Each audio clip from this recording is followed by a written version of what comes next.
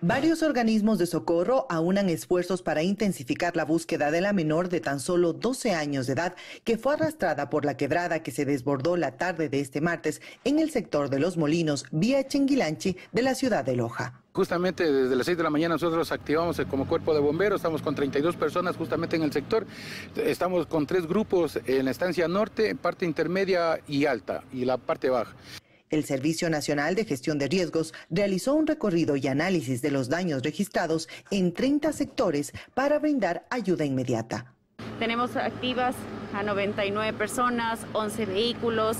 Por nuestra parte también estamos ya colaborando, se ha activado el fondo rotativo que aplica para casos de emergencia para contratar eh, maquinaria que se ha puesto a, a disposición también. El COE cantonal activó las mesas técnicas para brindar su contingente mediante los organismos que lo conforman.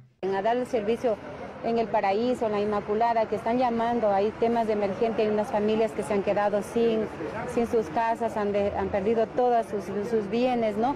Entonces el municipio está, está vigente y estamos ahí con el apoyo total a, a los ciudadanos que están necesitando ahora de nosotros.